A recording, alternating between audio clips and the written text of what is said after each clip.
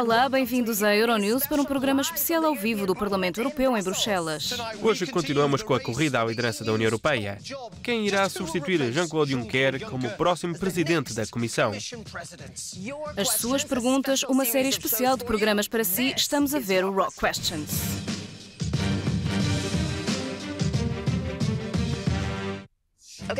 O nosso convidado de hoje é Jan Zaradil, candidato pela Aliança dos Conservadores e Reformistas.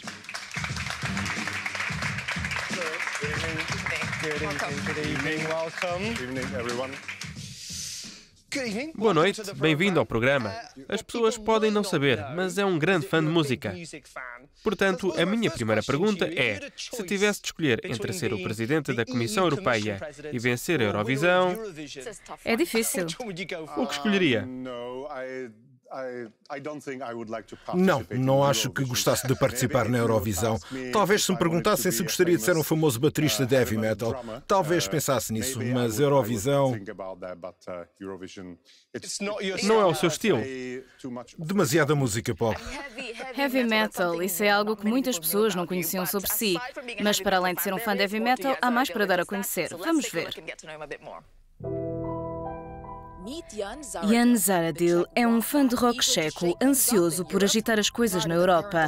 Cansado do poder estabelecido e uniformizado, acusa a União Europeia de ter o disco riscado e recusa-se a afinar pelo mesmo diapasão. A União Europeia não é um Estado, a Comissão Europeia não é um governo. Eu acredito em múltiplas velocidades, em multipolos, em várias moedas da União Europeia. Cresceu em Praga sob o regime comunista e diz que a Europa, tal como fez a antiga Checoslováquia, deveria ouvir as pessoas. Para Zaradil, a unidade forçada vai destruir a União Europeia em vez de consertá-la. O que gostaria de ver é um novo equilíbrio entre o nacional e o europeu para que possamos encontrar juntos boas soluções para o futuro.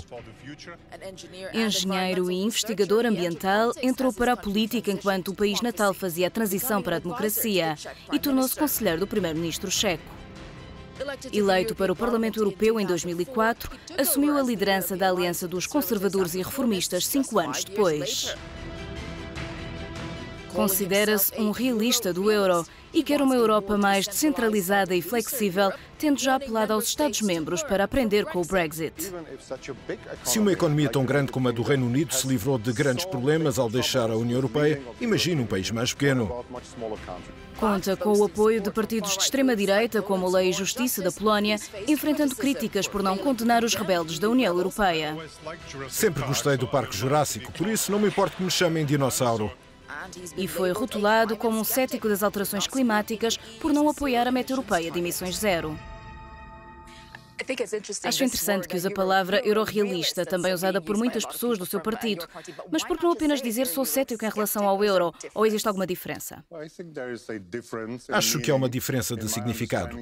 Penso que um cético em relação ao euro rejeita completamente toda a ideia de integração europeia e quer dissolver a União Europeia ou sair da União Europeia. Enquanto um eurorealista, no meu entender, é alguém que quer melhorar, alterá-la, organizá-la de forma diferente. E como foi crescer do outro lado da cortina de ferro? Ainda influencia a forma de fazer política?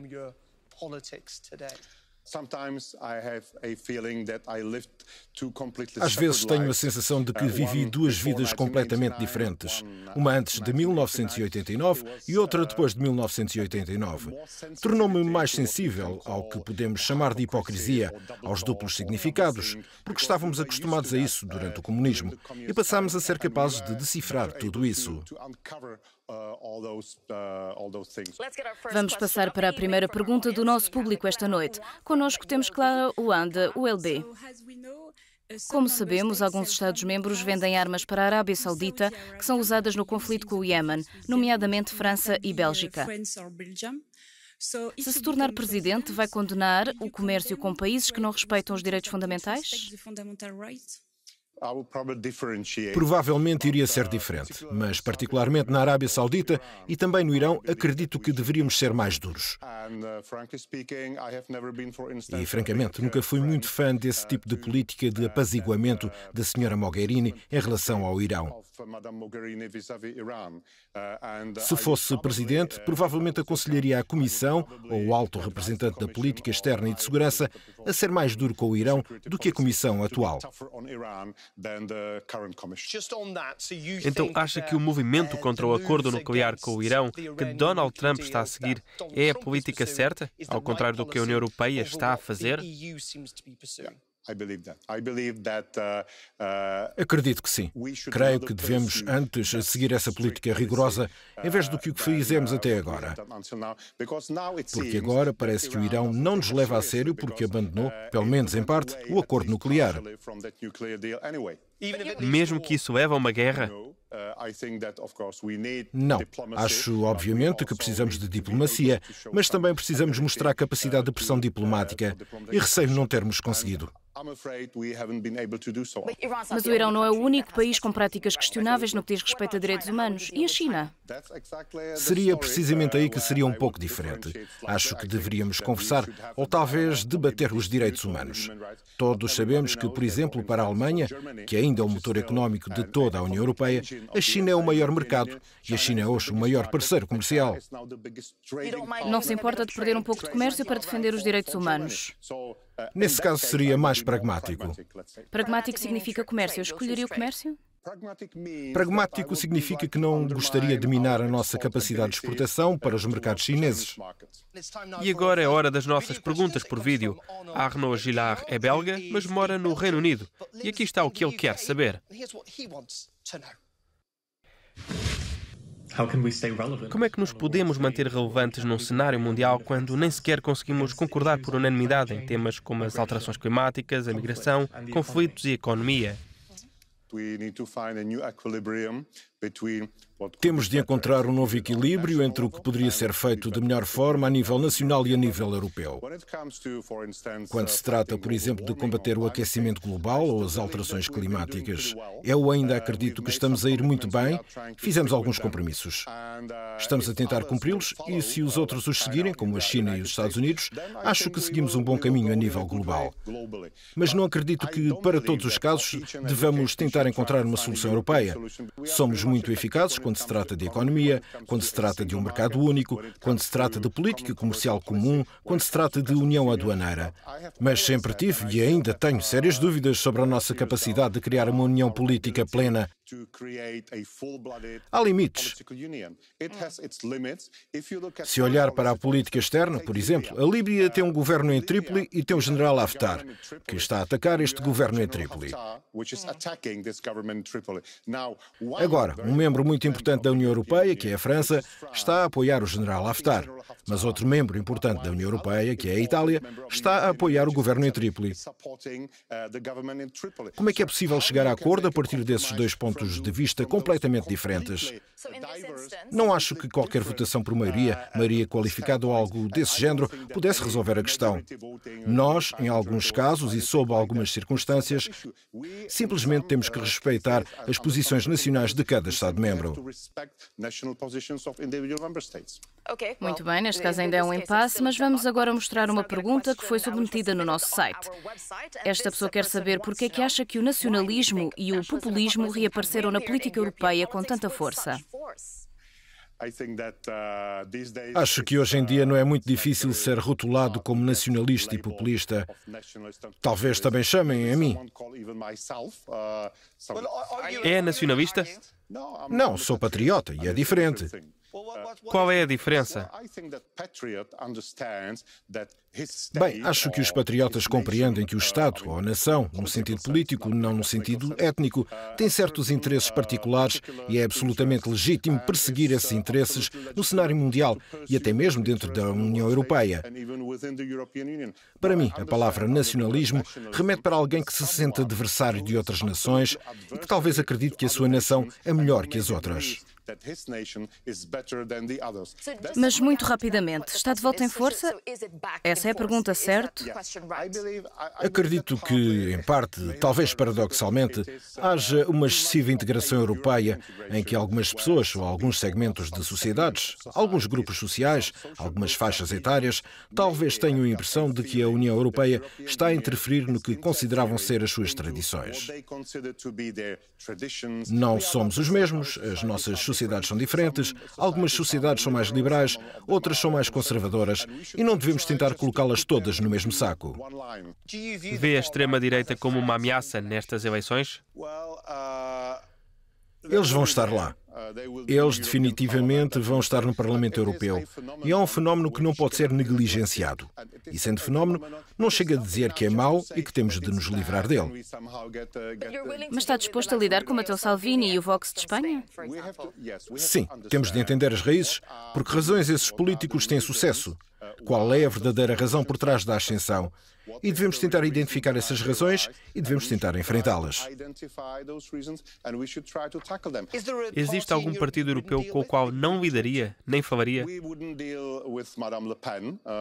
Não iríamos lidar com a senhora Le Pen se tiver de dar um exemplo, por algumas razões específicas. Ela é protecionista, contra o livre comércio, contra os acordos comerciais.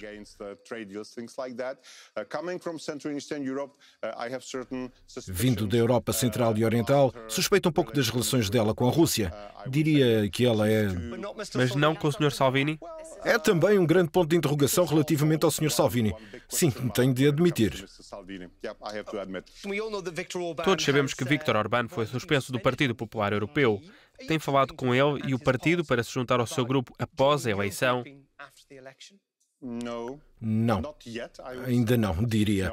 Por agora, esta é uma questão entre o Partido Popular Europeu e o Sr. Deputado Orbán e nós não interferimos. Quando as coisas mudarem, pode ser que a nossa atitude mude também mas para já não faz parte dos nossos planos. Vamos agora acelerar um pouco o ritmo. Temos algumas perguntas para si para respostas de sim ou não. Nada mais, nada menos. Vamos começar com um segundo mandato de Donald Trump como presidente dos Estados Unidos. Sim ou não? Por que não? Sim, se ele for eleito, sim. A China é uma ameaça? Não. Revogaria o artigo 50? Não. Acha que Estrasburgo é um desperdício de dinheiro? Sim. Permitiria o regresso à Europa de combatentes do Daesh com cidadania europeia? Não. As alterações climáticas são inteiramente feitas pelo homem? Não. Existe uma divisão entre o leste e o oeste da Europa? Sim. Exército da União Europeia? Sim ou não? Não. E finalmente, Acho que é a grande questão. Os Beatles são sobreestimados? Sim. Estavas a pressentir que ia responder isso. Temos agora uma pergunta que vem de Israel. Joseph entrou em contato via WhatsApp e pergunta o que fará a Europa para proteger os países europeus de imigrantes que se recusam a ser integrados na vida europeia. Acho que é muito claro.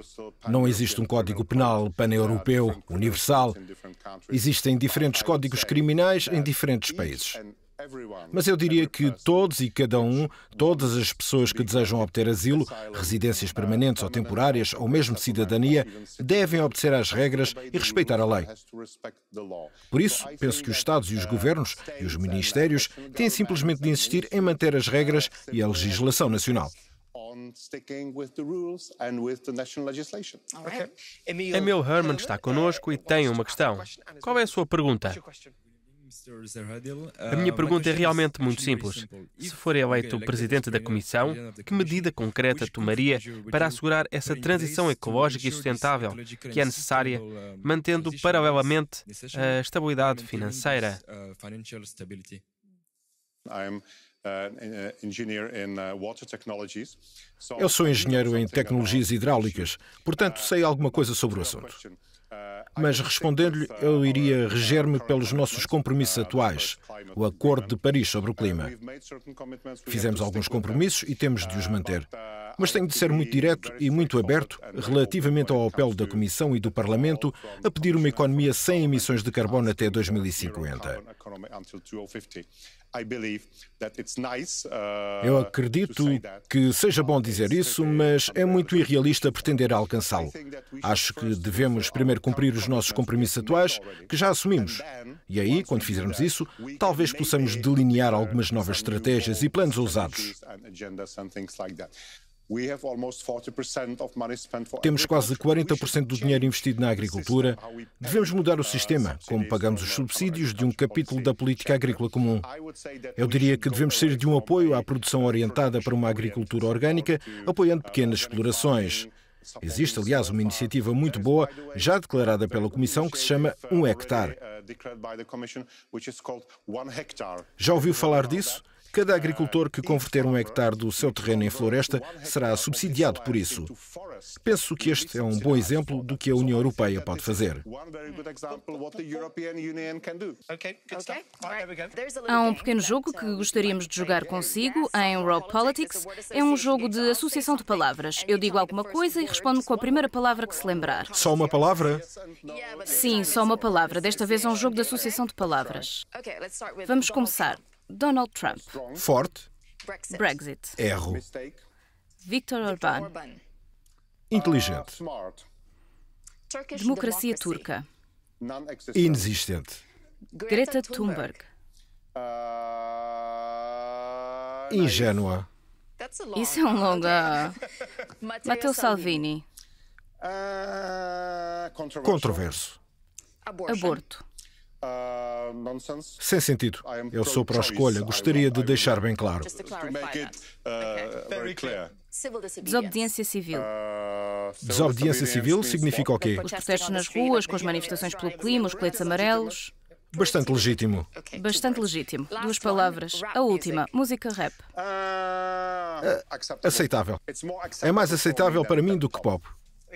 Deveria haver um rendimento mínimo para toda a União Europeia? Não. Por que não? Porque, mais uma vez, temos economias muito diversas. Cada país tem uma estrutura económica diferente, cada país tem um poder de compra diferente e simplesmente não podemos introduzir algo como salário mínimo ou rendimento básico em toda a Europa. Temos países que são relativamente muito ricos. Se olhar para a média europeia, de 100% do PIB per capita, tem de um lado a Alemanha, a França ou a Holanda, que têm 130%, 140%. Por outro lado, tem a Bulgária e a Roménia com menos de 50%. Como é que vamos introduzir salários universais, sistemas universais de assistência social, sistemas universais de pensão, sistemas de saúde? É impossível. Temos mais uma questão do nosso público em estúdio que enviou a pergunta pelo site e é bem breve. Muitos de nós odeiam a moeda do euro. Qual é a sua opinião? Eu acho que é um instrumento, acima de tudo, um instrumento político para uma maior integração. Acho que deveria ser voluntário e não obrigatório. E, portanto, sou a favor da união com múltiplas moedas. Mas para alguém que é um firme defensor do comércio e de mais negócio, o objetivo do euro é também eliminar muitos destes custos extra. Eu entendo a questão, mas. Então por que contra o euro? Eu não sou contra. Uma moeda única para o bloco. Qualquer Estado que se queira juntar ao euro deve ser livre para fazê-lo. E qualquer Estado que não se queira juntar ao euro também deve ser livre para o fazer. Portanto, neste caso, está a escolher a liberdade de uma nação em detrimento dos negócios. Não, não, isso não é verdade, porque há também outras implicações do euro que não são tão positivas e a verdade é que é um instrumento de uma política de integração. Porque, uma vez introduzido o euro, terá provavelmente de haver uma harmonização da política fiscal e talvez políticas sociais e medidas desse tipo. E, novamente, eu não acredito na União Europeia enquanto Estado ou uma entidade quase estatal. Eu acredito na União Europeia como um conglomerado livre de Estados cooperantes. Fala em não querer interferir na política de outros Estados-membros. No entanto, refere-se ao Brexit como um erro. Certamente os eleitores britânicos têm o direito não apenas de querer realmente que o Brexit aconteça, mas que seja um êxito. E não deviam nações europeias poder seguir o mesmo caminho? Talvez tenha sido um mal-entendido, porque eu não disse de quem era o erro. Foi um erro da Europa? Foi um erro da União Europeia que permitiu a saída de um dos seus membros mais fortes e com mais sucesso. Acredito que se tivessem oferecido alguma coisa a David Cameron, pelo menos durante as primeiras negociações, ele poderia ter mostrado em casa alguma concessão da União Europeia e que o resultado do referendo poderia ter sido diferente. Muito obrigado por se ter juntado a nós. E muito obrigada a todos os que nos veem, obrigado ao nosso público em estudo e mais uma vez, Jan Zaradil, obrigada por se ter juntado a nós neste programa. Bye. Goodbye. Thank you.